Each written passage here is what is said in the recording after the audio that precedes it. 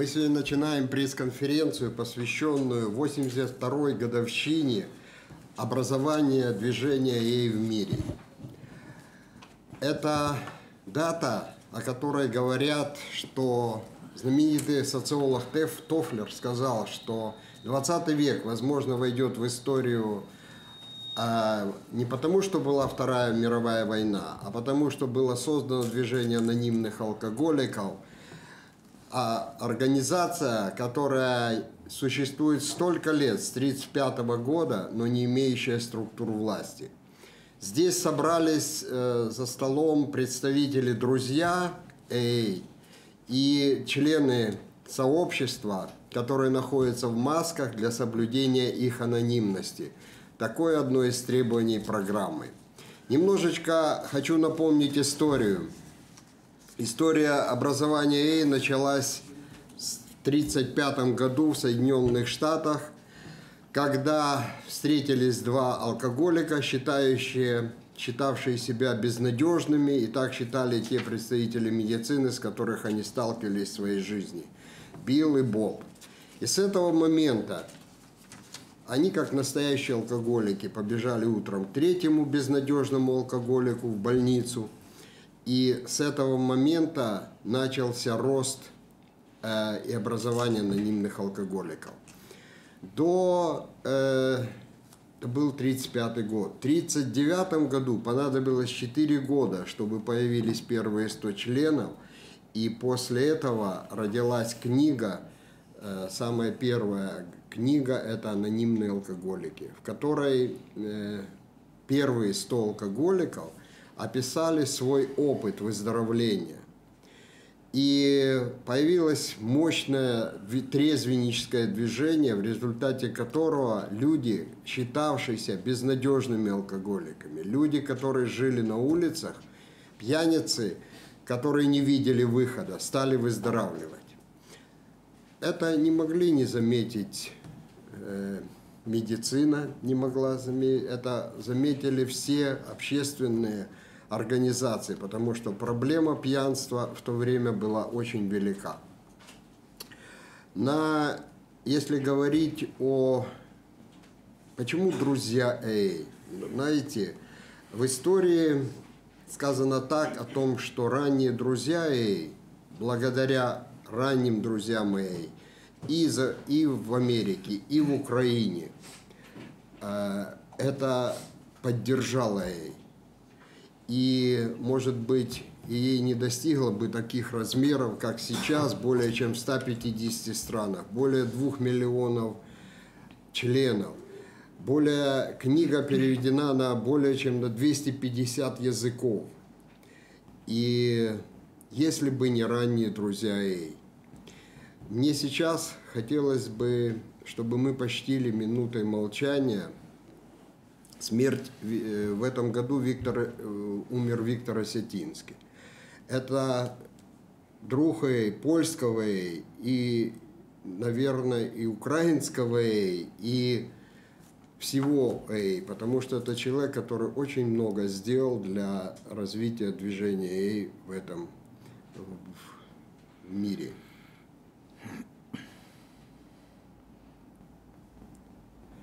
Спасибо.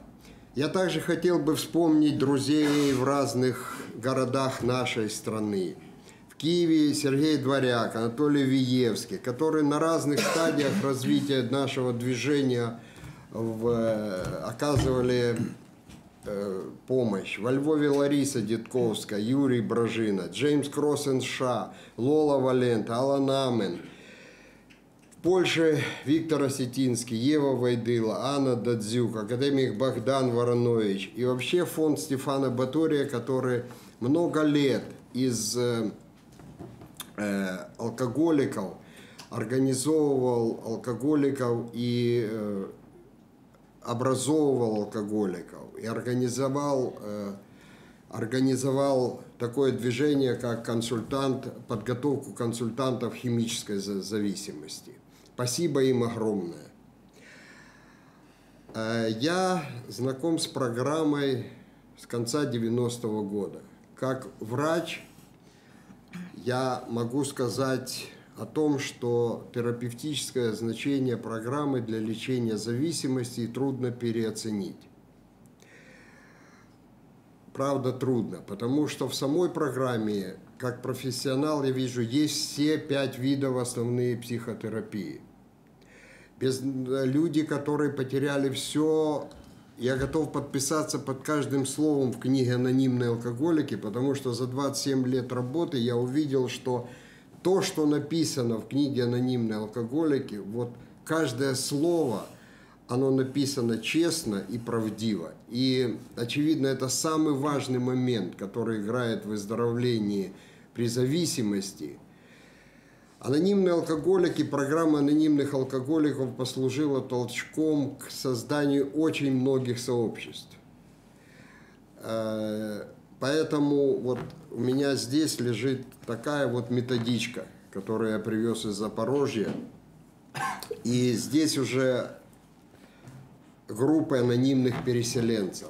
То есть, пережив Вторую мировую войну, когда не знали, как будет э, судьба, как сложится судьба анонимных алкоголиков с 40 -го года до 50-го, это были трудные, но активные годы – и также вот и сейчас, в трудное время, и программа приходит на помощь. И людям, попавших в трудные жизненные ситуации. Вот такова история, такова история, когда люди пережили трудные времена в своей жизни, связанные с зависимостью, но они через какое-то время они получают такой импульс, который они могут помогать другим. Я мог бы сказать о программе шестью словами. Доверяй Богу, вычисти свой дом, помогай другим. Вот этим, собственно говоря, очевидно, помогая самому себе и затем помогая другим, и занимаются вся, все сообщество анонимных алкоголиков. Я думаю, что сегодня и члены и, и друзья расскажут о своем опыте, поделятся тем многообразием судеб, которые, с которыми столкнулась программа и которым она помогает. Спасибо.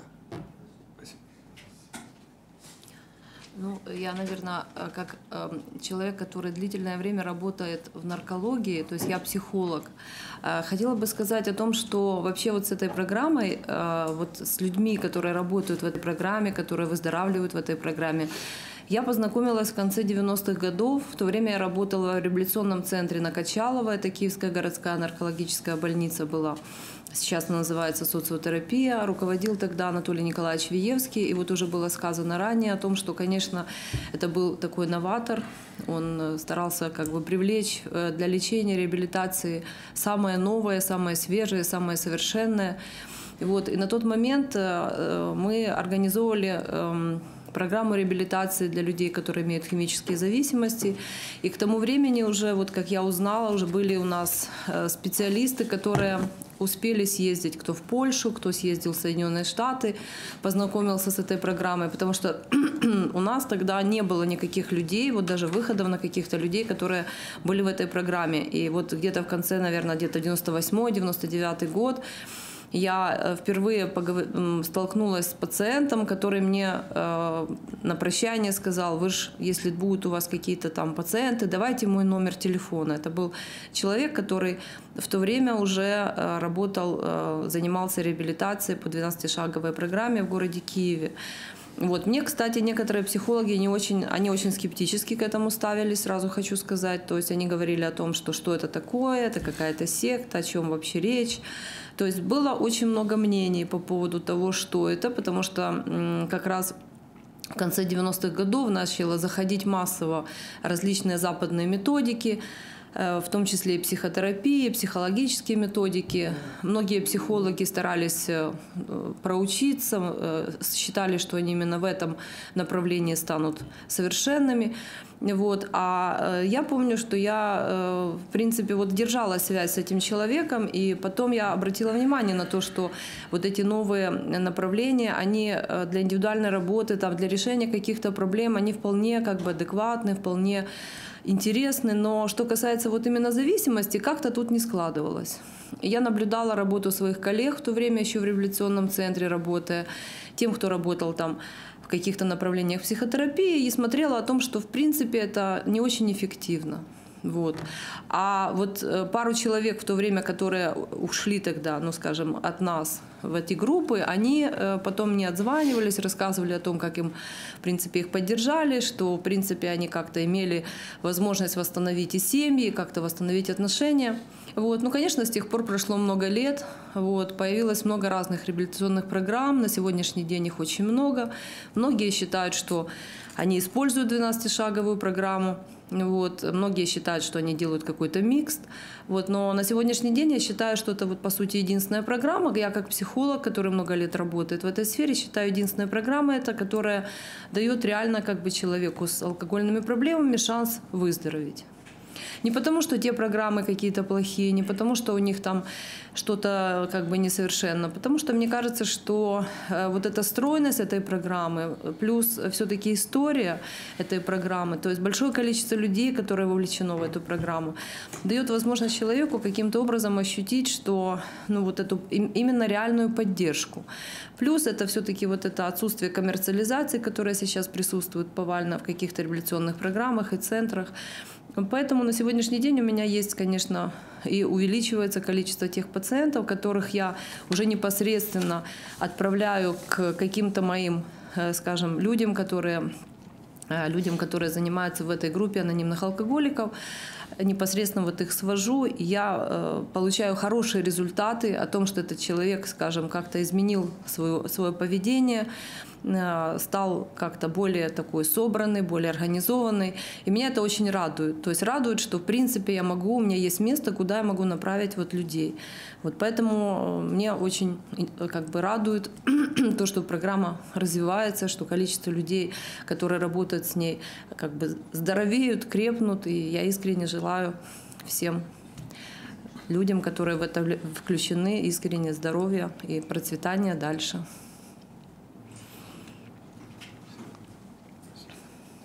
Меня зовут Володя, я алкоголик, я являюсь членом Содружества анонимных алкоголиков э, с 2003 года. Попал я в эй... Лежал, кстати, на Качалово, там лечился два раза. Это городская онкология. Э, ну, первый раз я попал э, в наркологию по тяжелому, там у меня белые горячки были, в общем. Я запойный алкоголик был. Сейчас вернусь немножко назад. Эм, мой алкоголизм развивался, начал развиваться где-то, мой алкоголизм где-то в лет 17 примерно. То есть я э, до этого выпивал как-то так, но вот именно вот этот эффект, который преобразовал меня внутренне, мощный такой был, э, алкогольное опьянение, я это помню, это было там буквально там какая-то бутылочка, две пива, хотя до этого я пробовал тоже алкоголь, но вот в тот момент я запомнил, э, такой эффект был у меня, как будто вдруг появилось солнце, появились, появились краски, появился вкус жизни. Мне очень понравилось это состояние. Это был эффект невероятный. Я этой радостью поделился со своим другом. Вот. Это своеобразный был такой прорыв, переломный момент, когда я работал со своим наставником, он мне говорил, когда у тебя произошел вот этот духовное пробуждение в кавычках, когда ты действительно принял себя, ты стал кайфовым таким, при, ну, я, я в этом состоянии просто ощутил счастье, невероятное счастье. Он сказал, вот в этот момент у тебя произошел перелом психики твоей. Алкоголь стал решением. всех моих внутренних каких-то проблем. Вот в таком возрасте у меня там их накопилось. Там. Где-то я там казался, там, хотел таким, другим, третьим. Говорил одно, думал другое. Вот у меня несоответствия были. Преподносился в каком-то, где-то комплексовал. Что-то хотел сделать, не мог. Но в этом состоянии я был король.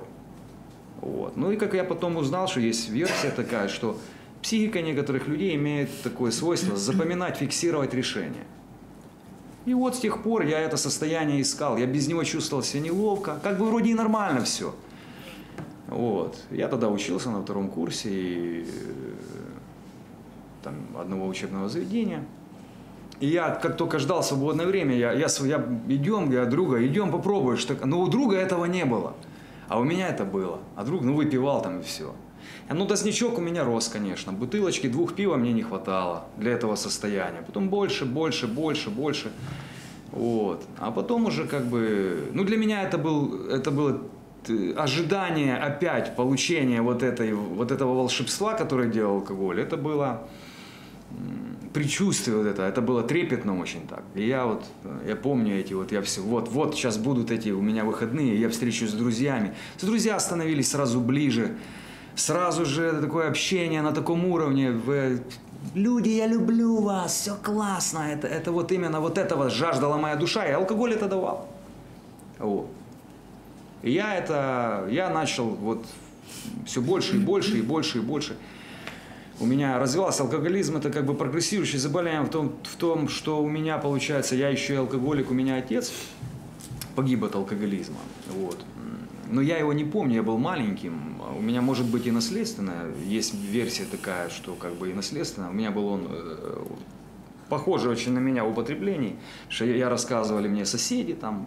Э, кто знал его, он как бы был как похож на, на мои. И тоже по тяжелому, он там, белые горячки были, его часто возили на Павлова.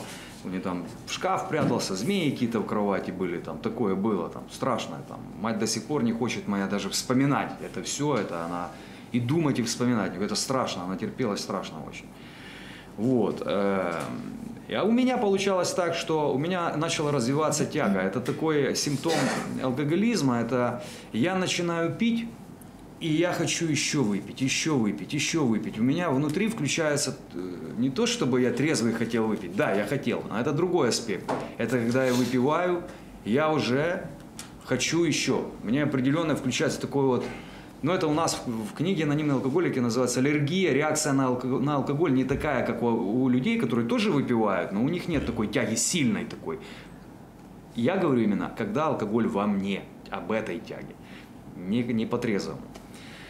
Это другая штучка, это желание, влечение к выпивке. Ну, как бы я сейчас специально разделил, хотя и то, и то у нас на группах называют тягой. Но в книжке разделяется, в нашей основной. И вот у меня эта тяга начала развиваться, я начал терять память. То есть я там раз, там какие-то пробелы в памяти. И, и через лет пять у меня 4-5 лет вот такого, такого э, поиска, ну, такой жизни. Вот в любой момент я очень любил это дело, встречался, там дни рождения не пропускал, это покупал, если была возможность. Ну, вот. Без этого жизнь бы была моя все, она, ну как бы, я был как бы уже э, этим делом подкуплен. Вот. И дальше случилась следующая вещь. Я, э, когда просыпался утром, до определенного периода времени, мне было просто плохо, если я, если я перебрал. Я как бы э, ну, не пил дальше. А потом, как в определенный момент, я начал просыпаться пьяный. С меня не выходил алкоголь. И, и мало того, с включенной тягой. Но это не все так пьют, потому что на группах можно разные истории услышать. У меня запойный алкоголизм начал развиваться. Что такое запойный алкоголизм? Это я вот не пил, не пил какой-то период, выпил, отрубился, ну или заснул, пошел спать, просыпаюсь, во мне алкоголя много настолько, что тяга включена. И все приоритеты, я не могу уже выйти на работу. У меня весь организм кричит пить. И я иду пить. Вот я два дня так начал пить. Потом мне на третий день плохо, я уже не пью. Это как бы такое отравление. И вот 3-4, со временем 5-6, потом неделю. Неделю это я не выхожу на работу, я просыпаюсь, бывало в одежде зачастую там, бывало не всегда сухой, и опять бухать. Вот. Любыми способами опять где-то вырубаюсь, вот так я начал теряться. У меня дни перемешивались, и так дошло у меня до трех недель. Вот. Ну, конечно же, я пытался лечиться, потому что ну, я уже работать не мог. Там были звонки на работу, я заболел, все дела, там меня не будет, мне плохо. Там, вот, там. Уже люди понимают, этого же не спрячешь. И вот такой ярко выраженный алкоголизм был.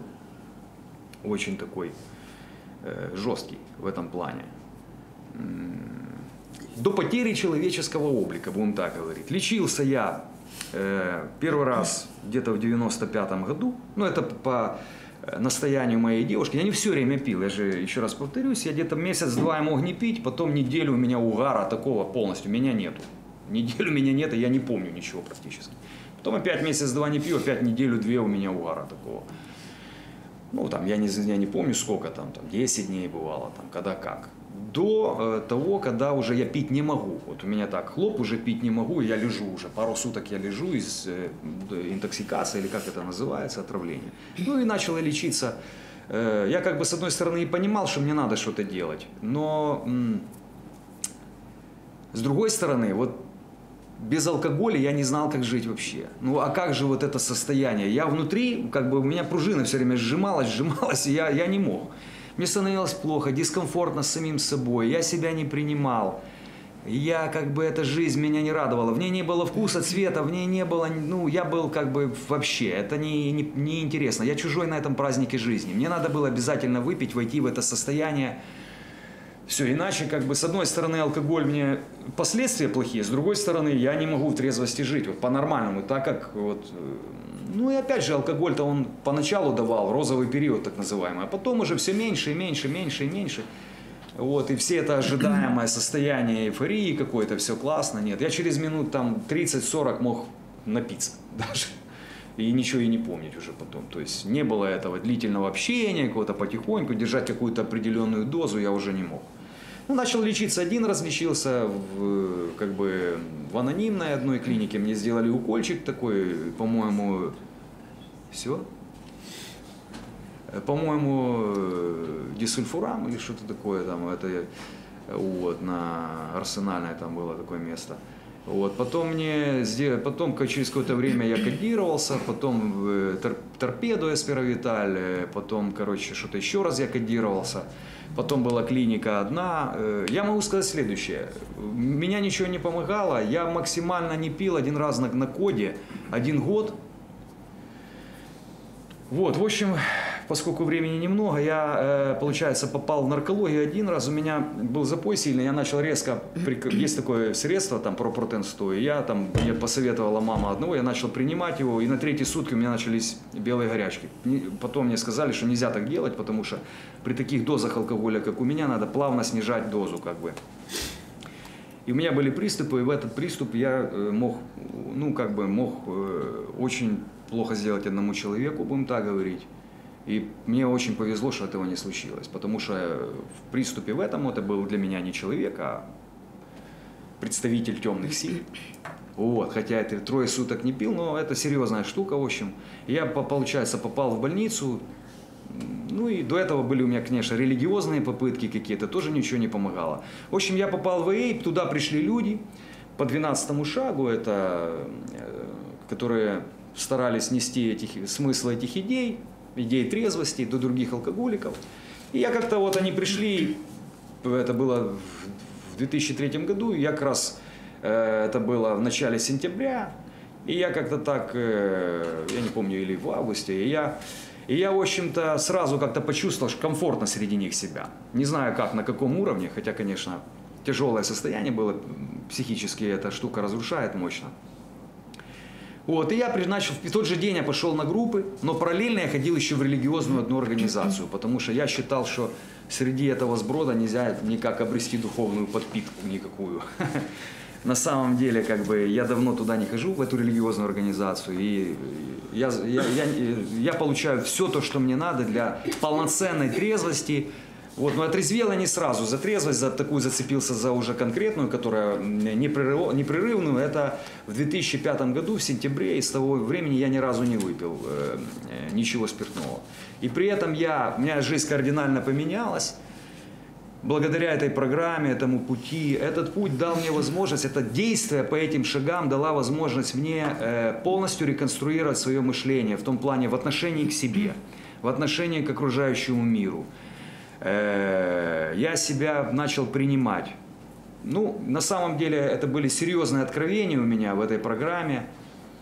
И я могу сказать, что я до сих пор стою на учете как хронический алкоголик, хотя давно могу уже сняться, там после пяти лет можно, но я как-то у меня не доходят руки туда.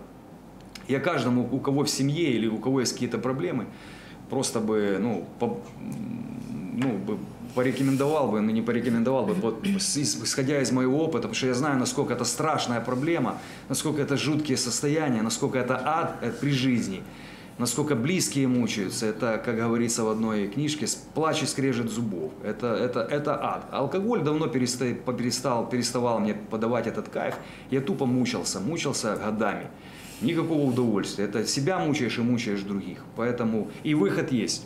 Вот, я живое свидетельство того, что это работает, потому что вот около 12 лет я ни разу не выпил, и причем нахожусь в любых ситуациях, при мне пьют, употребляют легко, я могу налить и так далее. То есть я легко себя чувствую в алкогольной среде, я от нее не убегаю, никого не сужу, я абсолютно нормально себя чувствую. Вот в этом плане это уникально, потому что на коде я был злой.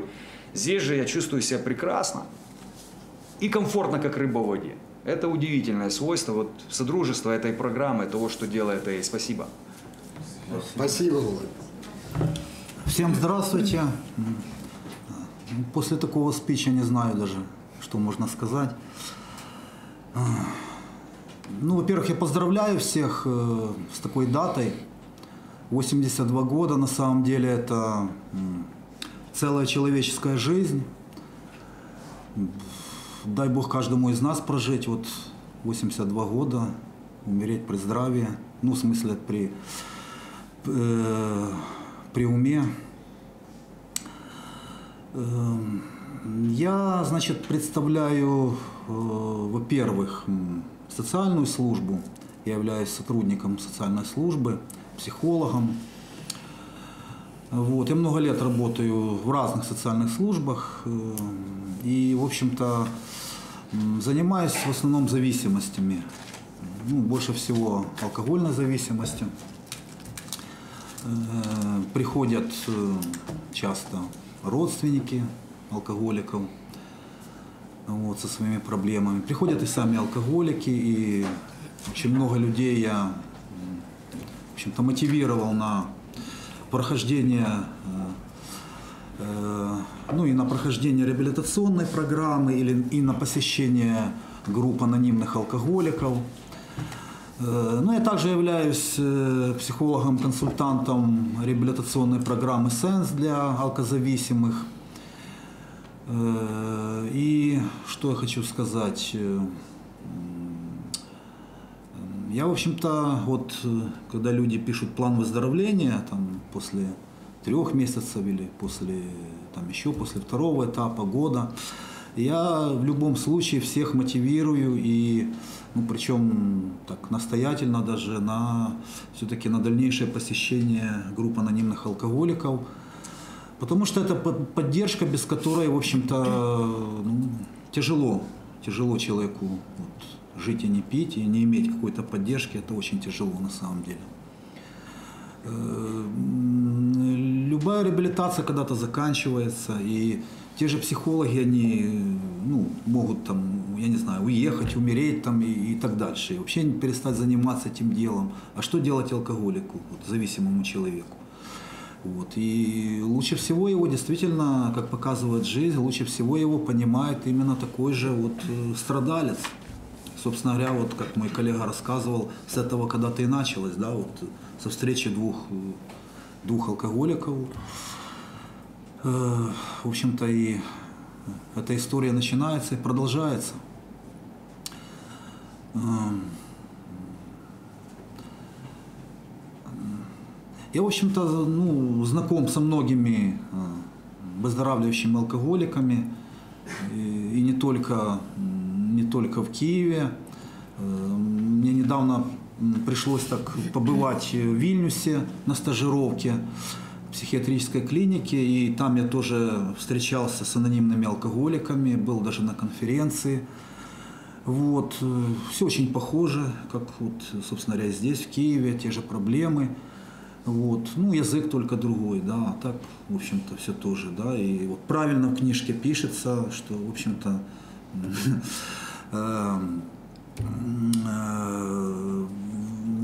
нет вот этих границ, да, вот без разницы, или это Польша, или Украина, или Литва, или Америка. То есть э, те же проблемы у алкоголика, те же социальные проблемы, проблемы вот со здоровьем, вот как э, Володя рассказывал, э,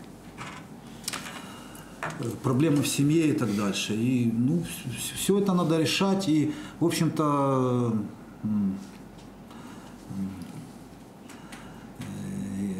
я рад и удовлетворен, что знаком со многими членами этого всемирного движения. И я вижу, как, в общем-то, развивается само движение и отдельные, э, скажем, отдельные члены этого общества тоже растут, развиваются. И даже вот э, выпускники нашей реабилитационной программы, они, в общем-то, пополнили ряды многих, э, многих групп в городе Киеве. Вот. И, ну, конечно, от этого есть радость на самом деле. Э, Ну, в общем, вот так вот. Спасибо. Знаете, мне очень часто задают вопрос, почему-то э, говорят, вот очевидно, женский алкоголизм неизлечим. Вот очень часто бывают такие вопросы. Вот. Марина. Доброго дня. Я член спільноти анонімних алкоголіків. Е, Я на сьогоднішній день твереза 3,5 роки. Це е, чудо, тому що за останніх 10 років е, я не могла залишатися твереза. Е, Я багато лікувалася. Ну, я лікувалася. Я кодувалась не один раз. Я лікувалася в психіатричних лікарнях. Я ну, була багато їздила там, мене возили там по різним бабкам, діткам, церквам, і нічого не допомагало. І я не бачила. Не бачила виходу, тому що я не, не уявляла, як це можна жити без алкоголя. Для мене світ був такий весь час чорно-білий. Для мене мені здавалося, що я народилася не там, не в тому, не в тому місці, не в тому віці. І у мене було все. У мене був, була сім'я, у мене були здорові батьки, у мене було, були, була дитина. І, а я так пила, що е, зранку, наприклад, я встаю е, з великого похмілля і можу на колінах клястися своєму сину, що я більше не буду. І точно знала, що я не буду. А після обіду вже син стоїть перед мною на колінах і просить, мама, не пий. І я думала, нема виходу. Всі, всі завжди питали, чого ти п'єш, у тебе все є. А я ніколи не могла дати відповідь на це питання. Але мені нічого ніколи не приносило щастя, задоволення. Я весь час всім була недовольна. Я ходила, ну от нічого не приносило щастя мені.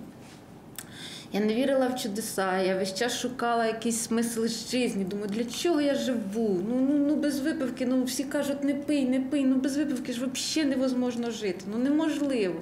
Ну як можна без, без випивки жити? Коли я прийшла в анонімні алкоголіки, я залишилася взагалі сама.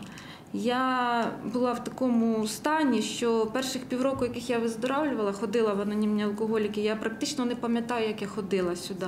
Але я пам'ятаю одне: що коли я прийшла сюди, коли мене вже всі кишнули, всі сказали, е, е, ну, відвернулись від мене, то тут мене зустріли з такими. ем, з такою піддержкою. Мене тут не осудили, мене тут не ругали, що от я така, що от я п'ю без перестанку, що мене тут піддержали. І я за це дуже вдячна. І я була така, думаю, це ж треба, мене вже везде, де тільки я не була, мені сказали, ну іди, ми вже ти вже достала всіх, вже дивитись на тебе не можу. А тут мене піддержали, і тут сказали таку фразу, що вихід є. І це дійсно так, вихід є. Я пам'ятаю, я в книжці, е, в нашій книжці анонімних алкоголіків, е, перший раз, як я її читала, не пам'ятаю, тому що я ж кажу, стан такий був. Там написана така фраза, яка мені врізалася в, в голову, що так темно буває перед розсвітом, там написано. І це дійсно так. І е, я перестала шукати смисл житті. Для мене на сьогоднішній день е, смисл житті в самій житті. Програма «12 кроків е, навчила мене жити, і, як виявилось, ну, можна жити, радуватись житті і не пити. Це чудо, ще одне з чудес. Тут мене навчили, що щастя є, і що е, можна жити і не пити. Ну, я ж кажу, це для мене було дуже, дуже велике чудо. І е, програма «12 кроків. Ну, я на сьогоднішній день я дуже, дуже вдячна, що от я була анонімним алкоголіком, тому що е, нам дається програма дій. Як, що робити для того, щоб лишатися тверезою, радісною і щасливою. І моє життя змінилося, ну, дуже змінилося. На сьогоднішній день я, у мене є знову, у мене є сім'я, у мене є двоє прекрасних дітей, у мене є робота, і у мене є ну, анонімні алкоголіки, тому що тільки тут, ходячи на групи, діл- ділясь з другими тим, що я тут отримала безкоштовно, от тільки так я можу залишатися тверезою, тому що по-другому я пробувала, в мене не виходить. І от на сьогоднішній день так е, сталося, що я живу там само, де і жила багато років. Да? Я живу там само, у мене та сама робота, в мене та сама сім'я, але в мене помінялося відношення до цього всього. І що б я сьогодні не робила там, чи я е, на роботі, чи я вдома, чи я на городі, чи я що б я не робила, от е, я навчилася з задоволенням все робити. І не важно, що я роблю. Якщо я виконую от прості дії, які предлагає програма, я от щаслива, радісна і свободна. Ну, на сьогоднішній день так, дякую. Пожалуйста, можно задавать вопросы.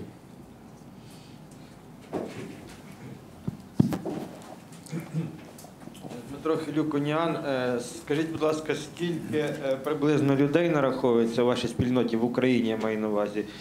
І дивіться, ще одне питання. От в нас ще з радянських часів є така установка в людей, навіть е, в людей, які не страждають алкозалежністю чи там наркозалежністю, що соромно йти до психолога, не дай Боже там йти до психотерапевта, що це зразу скажуть, що ти псих, ти якийсь ненормальний. Ну і до, до сих пір це ще побутує в суспільстві. Е, якщо взяти, от, е, наприклад, там перспективі, в ретроспективі там 10-15 років, наскільки це змінилася ця ситуація в Україні, коли людям з проблемами якісь там не соматичного характеру, там не зуб болить чи нога, а психологічного, е, наскільки вже не соромно йти до фахівців чи йти в якісь об'єднання подібні вашому? Дякую. Можно я отвечу? Я отвечу потом, вы сначала, потом я. Хорошо? Хорошо, значит, э, в Украине э, движение «Эй» началось с 1989 года в Киеве, Львове и Луцке. На сегодняшний день в Украине насчитывается около 80 групп анонимных алкоголиков. Э, Даже это были данные, сейчас 130. Вот. И где-то порядка 1300 людей ходит в группы анонимных алкоголиков. Э, Я приведу еще цифры по сравнению с Польшей. В Польше более 2000 групп. И намного больше, естественно, вот, общества анонимных алкоголиков. В отношении того, э, меняется ли отношение. Э, да, меняется. Потому что последние, вот, ну, последние, наверное, десятилетия психологически все-таки практические психологи работают с тем, чтобы мотивировать людей на мотивировать. Честно говоря, у меня вначале было такое ситуация, что весь совок надо пропускать через программу 12 шагов, потому что те установки, которые были, стыдно быть алкоголиком. Но я оптимист. Я думаю, что сейчас меняется это отношение. Потому что уже все-таки э, здоровый образ жизни намного лучше, чем пьяный образ жизни. И вот как профессионалу мне, я вижу, как проходят такие стадии. Вот мне нельзя пить, через я не хочу пить, потом я хочу быть трезвым, и состояние, вот о котором Марина говорила, о котором Володя говорил, да, когда я люблю свою трезвость. И вот это состояние, оно заменяет любое то состояние, которое было с э, психоактивным каким-либо веществом. И это дорогого стоит. Потому что это такое солнце, это такой солнечный луч, который сделал воином света очень многих людей, которые побывали в аду.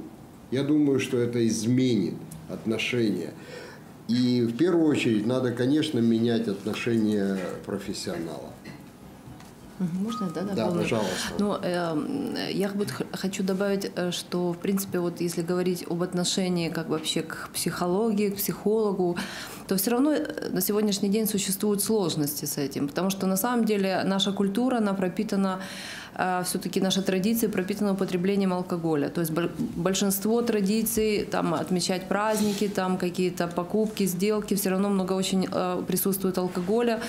И очень часто, когда вот ко мне обращаются люди, я работаю уже достаточно долго, э, практически работаю с людьми, с семьями, которые употребляют алкоголь, конечно, люди приходят иногда под давлением своих родственников, им как бы достаточно сложно, потому что есть гордыня признать себя больным, признать себя зависимым. Чаще всего они говорят о том, что проблемы у вас, вот, а у нас у меня проблем нет. Но во всяком случае я хочу сказать, что на сегодняшний день все-таки фокус двигается, и я поддержу вас, безусловно, Роман, по поводу того, что все-таки меняется отношение, э, меняется отношение к психологии уже вот не путают, меньше путают там психолог, психиатр, потому что раньше приходили, говорили, я к психиатру не хочу, на учет не хочу. Ну и появилось достаточно много возможностей для анонимного консультирования. Хочу сказать отдельно, что достаточно сложным является вопрос, связанный с женским алкоголизмом. То есть вот что касается женщин, то они идут значительно реже, и они попадают в фокус внимания медиков и специалистов, и психологов, психотерапевтов гораздо позже. И вот как раз с женщинами есть проблема, потому что женщины тоже не хотят э, иногда обращаться к специалисту, потому что считают, что это уже будет какая-то на них какое-то клеймо. И вот я сталкиваюсь с практикой, что, к сожалению, когда вот попадают вот к нам, в нашу э, структуру, в клинику, либо лично ко мне на прием, иногда попадают женщины в достаточно сложном, запущенном состоянии, именно по той причине, что у них существовало некое предубеждение. Они считали, что если они будут э, ходить к специалисту, то значит у них уже есть какие-то проблемы. Поэтому, конечно, я очень рада, что есть возможность, и в том числе э, есть женские группы, анонимных алкоголиков, и я рекомендую тоже вот такие группы, и знаю случаи, когда люди как раз вот именно э, имели большие предубеждения против вообще психологии, против каких-то консультаций, против каких-то групп, и, к, э, к счастью, преодолели, ну, может быть, с моей помощью, с помощью моих коллег, и смогли как бы принять участие в выздоровлении. Вот.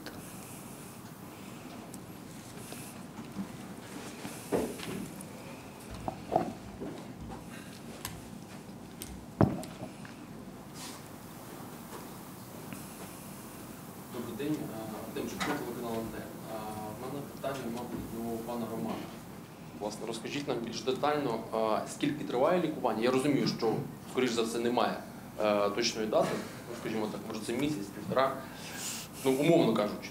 Е, і сама процедура, як вона відбувається? До вас прийшла людина, ось е, ви її прийняли, вислухали і далі що робите? Як? Я хотел бы сказать по поводу сначала, о чем мы здесь собрались, да?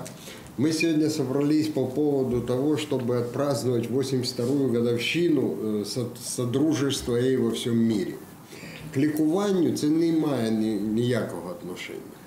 Но есть миннесотская модель программы «12 шагов», которая, э, в принципе, вот по моим, я говорю о своем опыте, начиная с 91 -го года, имеет самое большое успешное количество счастливых историй во всем мире – и э, там терапевтически сложились какие-то сроки, но и они таковы. Есть три этапа лечения. Детокс, реабилитация, поддержание трезвости. И, в принципе, за каждый год активного алкоголизма нужно отдать один месяц активной реабилитации. Вот смотрите о сроках. Но когда человек, э, ведь алкоголизм пока это навсегда, на всю оставшуюся жизнь. Только когда человек достигает вот этого психологического состояния, когда я люблю свою трезвость, это то, о чем говорила Марина, что я просто живу и мне жизнь нравится. Я думаю, это самое главное, то, что должно произойти, потому что не пить – это просто условие. А для того, чтобы излечиться от этой смертельной болезни. И терапевтический эффект наступает все-таки тогда, когда мы возвращаем пациентов, клиентов, возвращаем в реальность. Нужно знать все об этой болезни. И программа честно рассказывает о том, что ты алкоголик, что твоя мечта, там заветная мечта каждого алкоголика пить по чуть-чуть, она не сбудется. Я просто ты перестанешь хотеть пить. И это другое состояние. Это вот состояние истинной терапевтической ценности, на мой взгляд. Потому что это совершенно другой мир, это совершенно другой вкус, это другое солнце, другая вода. И это дорогого стоит. И каждый э, алкоголик, наркоман, который я встречал, он выздоравливающий, да, который я встречал, он говорил как раз вот об этом подарке судьбы. В этом заключается выход есть. То, что приносит программа, она возвращает самого себя тебе же. И она же возвращает тебе мир только честным, теплым, искренним. А не обязательно проходят все неприятности. Но сила преодоления этих неприятностей появляется, и уже не нужно пить.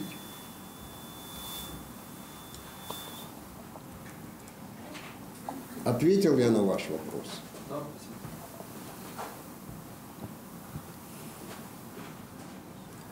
Українське радіо, скажіть, будь ласка, ось ця методика вона підходить для будь-яких форм залежності, не лише алкогольних, але й інших хімічних, так?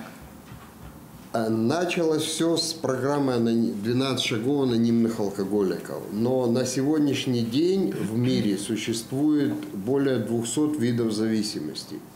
И практически я, вот если говорить то, что о своем опыте, с чем я сталкивался, анонимные депрессивные, анонимные обжоры, Игроки. анонимные игроки, и везде есть успешные истории.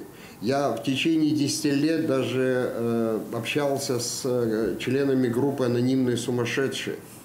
И люди перестали принимать э, таблетки и были и выздоравливали. Потому что в программе есть такое одно не обещание, а просто констатация фактов, что проходят даже пси- психические заболевания, если есть такое качество, как честность, как реальное видение мотивов своих поступков. И это сбывается, это действительно так, потому что люди были в ремиссии при с очень серьезными диагнозами. Анонимные депрессивные, люди отказались от антидепрессантов и выздоравливают. Я таких знаю лично и много. Уже на протяжении там 7 лет. То, что вот. Это происходит, это реальность.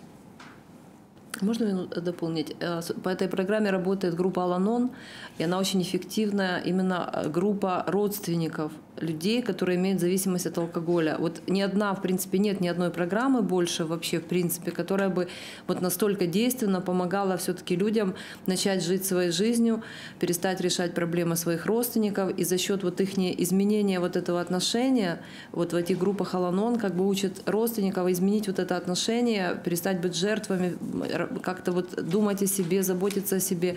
И вот я считаю это большое достижение, потому что вот я как раз сталкиваюсь э, с этими группами, потому что мне приходится по роду своей работы передавать туда родственников, потому что они нуждаются в такой постоянной поддержке. Я считаю это огромнейшее достижение вот именно 12-шаговой программы. А Всемирная организация здравоохранения вообще объявила о том, что проблемой номер один даже является не зависимость, а созависимость. Это вот как раз группа Алана. Потому что один алкоголик вокруг него как четверо все время кружат и подталкивают. Программа справляется и с этим.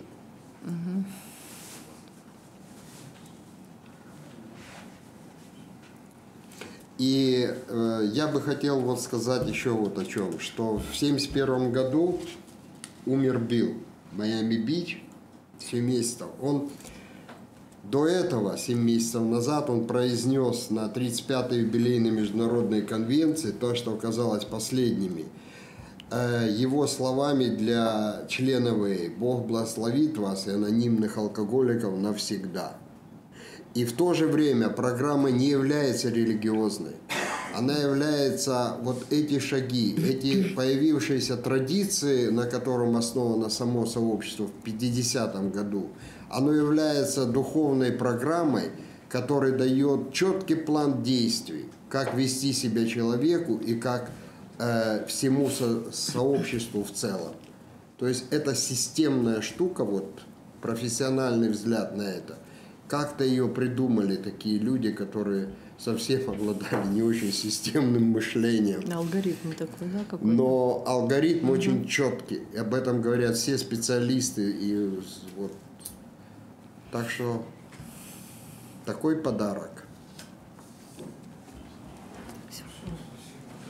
Всем спасибо. Спасибо. Спасибо. На этом сегодняшняя наша конференция закончена.